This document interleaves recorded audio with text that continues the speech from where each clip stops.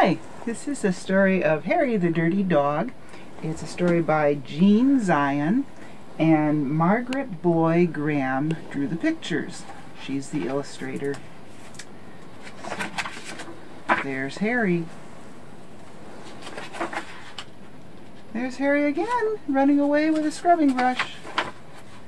Harry was a white dog with black spots who liked everything except getting a bath. So one day when he heard the water running in the tub, he took the scrubbing brush and buried it in the backyard. And then he ran away from home. The playground where he went was they were fixing the street and he got very dirty. He played at the railroad and he got even dirtier. He played tag with the other dogs and became dirtier still. He slid down a coal chute. Acme coal goes into the shop for heating it. And he got dirtiest of all. In fact, he changed from a white dog with black spots to a black dog with white spots. There he is. Although there were many other things to do, Harry began to wonder if his family thought he had really run away. He felt tired and hungry, and so without stopping on the way, he ran back home.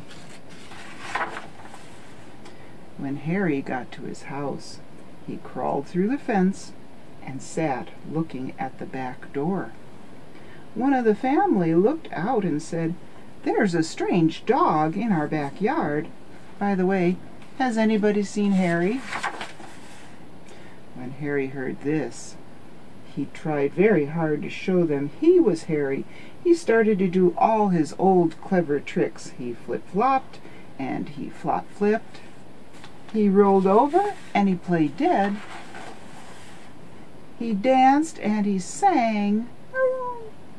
But he did these tricks over and over again, and everyone shook their head and said, Oh no, it couldn't be Harry. Harry gave up and walked slowly behind the gate, and suddenly he stopped. He ran to a corner of the garden and started to dig furiously. Soon he jumped away from the hole, barking short, happy barks. He'd found the scrubbing brush, and carrying it in his mouth, he ran into the house. Up the stairs he dashed, with the family following close behind. He jumped into the bathtub and sat up begging with a scrubbing brush in his mouth, a trick he had certainly never done before. This little doggie wants a bath, cried the little girl, and her father said, Why don't you and your brother give him a bath? Harry's bath was the soapiest one he'd ever had. It worked like magic.